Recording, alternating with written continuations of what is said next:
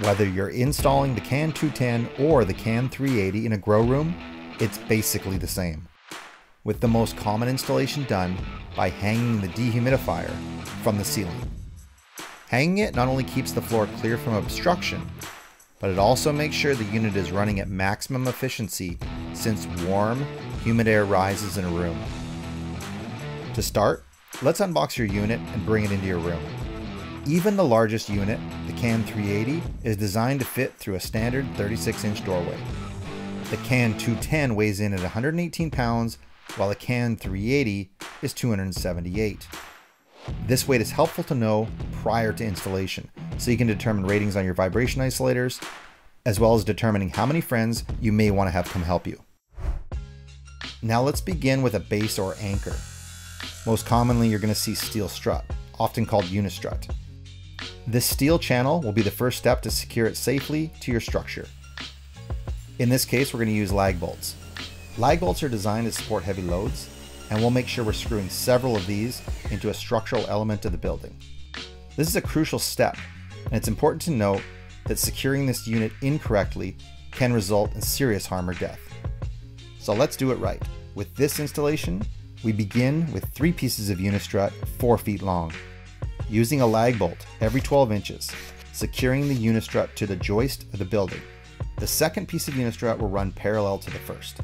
In our case, 16 inches apart, as that's where our next joist is. And repeat that for the third piece. Cut two more pieces of unistrut at 3 feet, and then bolt them together using hardware at a 90 degree angle. For the CAN 380, they should be 33.5 inches apart, and for the CAN 210, 20 inches apart to match the tabs on the bottom of the dehumidifier. Now with the cage built, it's recommended to add vibration dampeners, which will ensure the unit is running as quiet as possible. We do this by cutting an 8 inch piece of 3 8 threaded ready rod, and then bolt the vibration dampener to the unistrut using washers and lock nuts. Then add a second piece of ready rod. This ready rod will need to be at least as tall as your unit, but you may want this piece longer so your unit hangs lower. This will all depend on your ceiling height. Once your ready rod is in the correct position and is lined up with the tabs on the dehumidifier, you can lift it up and secure it with washers and lock nuts.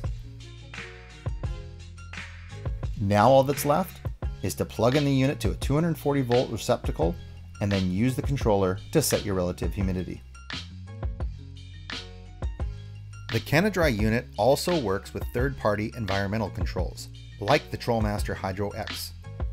This is a common plug-and-play environmental controller used in grow rooms. All you have to do is add the Huministat HS1 by connecting the black wires. Now, let's consider a few things. Where's the best placement for the unit in your room? Begin by looking at the existing ductwork and see where the air-conditioned air is flowing. You don't want your dehumidifier placed near AC vents. Blowing cold, dry air directly into a dehumidifier makes them very inefficient. If you're planning to have multiple dehumidifiers in the same room, consider spacing them evenly from each other. And make sure you're not blowing any warm, dry air directly into another unit. Also, because these units are maintained by removing service panels, keep the units a minimum of 18 inches away from the wall so they can be conveniently accessed by a technician. Once installed, make sure your unit is level so that the unit drains properly.